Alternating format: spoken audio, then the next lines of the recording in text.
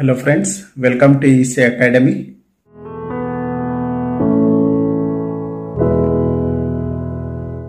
In this lecture, let us understand a problem on DTFT.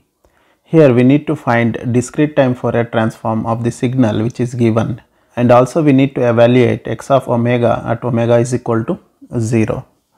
From the definition of DTFT we know x of omega we can write it as summation of n is equal to minus infinity to infinity x of n exponential to the power of minus j omega n now, if we observe the given sequence, this sequence is ranging from minus 2 to 2.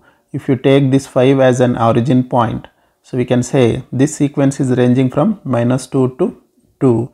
So, that is why we can write the summation of n is equal to minus 2 to 2 x of n exponential to power of minus j omega n. Now, let us substitute different values of x of n from minus 2 to 2. At n is equal to minus 2, we will get x of minus 2 exponential to the power of j 2 omega plus at n is equal to minus 1, we will get x of minus 1 exponential to the power of j omega plus at n is equal to 0, we will get x of 0 plus at n is equal to 1, we will get x of 1 exponential to the power of minus j omega plus at n is equal to 2 we will get x of 2 exponential to the power of minus j 2 omega. Now we know x of minus 2 is 1, x of minus 1 is 3, x of 0 is 5, x of 1 is 3, x of 2 is 1.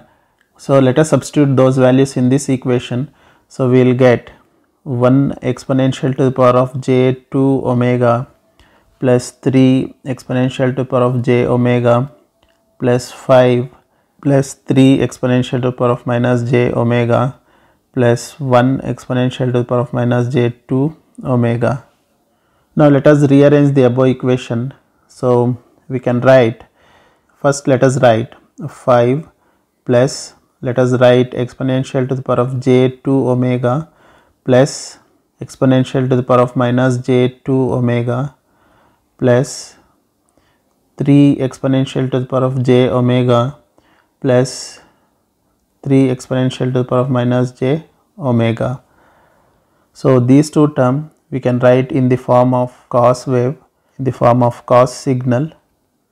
Therefore we can write the above equation as 5 plus 2 cos 2 omega plus 6 cos omega. This is DTFT of the given sequence. Now at omega is equal to 0 x of omega will be equal to 5 plus 2 plus 6. So that will be equal to 13 because cos 0 will be equal to 1. Let us take the second problem. Here we need to evaluate DTFT of the given sequence and also we need to find x of omega at omega is equal to 0. Again it is similar to the previous problem. So we can write the standard formula for DTFT that is x of omega is equal to summation of n is equal to minus infinity to infinity x of n exponential to the power of minus j omega n. If we observe the given sequence, this sequence is again ranging from minus 2 to 2 if we take this as origin point.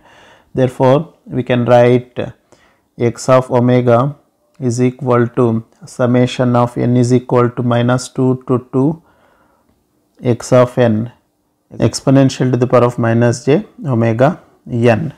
Now, let us substitute the value of n from minus 2 to 2. So, we will get x of minus 2 exponential to the power of 2 j omega plus x of minus 1 exponential to the power of j omega plus x of 0 plus x of 1 exponential to the power of minus j omega plus x of 2 exponential to the power of minus j 2 omega.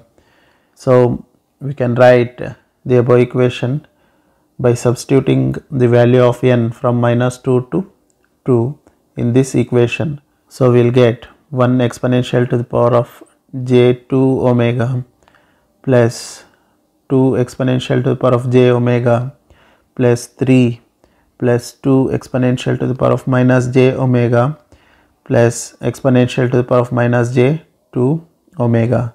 So let us rearrange the above equation. First let us write 3 plus 2 exponential to the power of j omega plus 2 exponential to the power of minus j omega plus exponential to the power of j 2 omega plus exponential to the power of minus j 2 omega.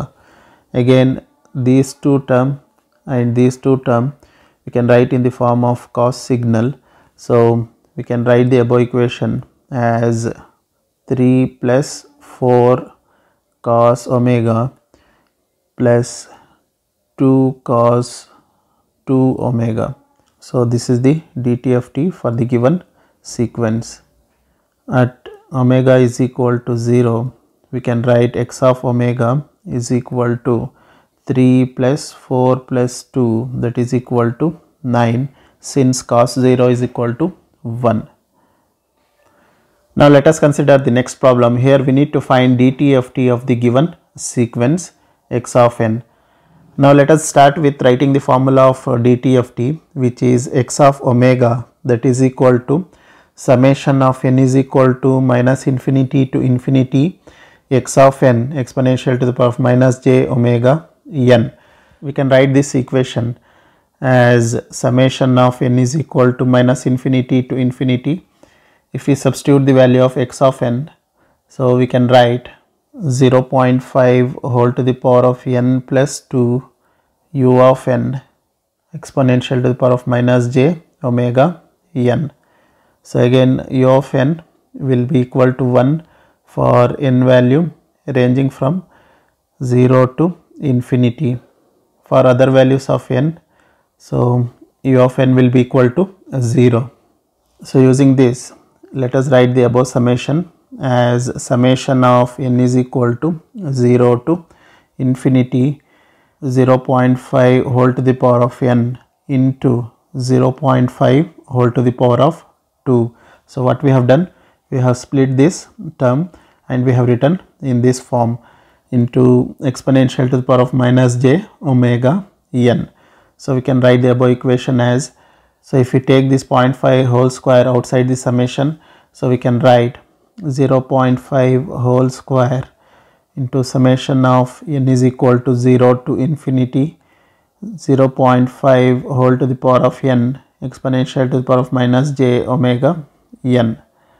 So, we can write the above term as 0.5 whole square into summation of n is equal to 0 to infinity. So, 0.5 whole to the power of n and exponential term we can combine and write. So, 0.5 I will write it as 1 by 2 exponential to the power of minus j omega whole to the power of n. Now we know the formula summation of n is equal to 0 to infinity alpha to the power of n we can write it as 1 divided by 1 minus alpha.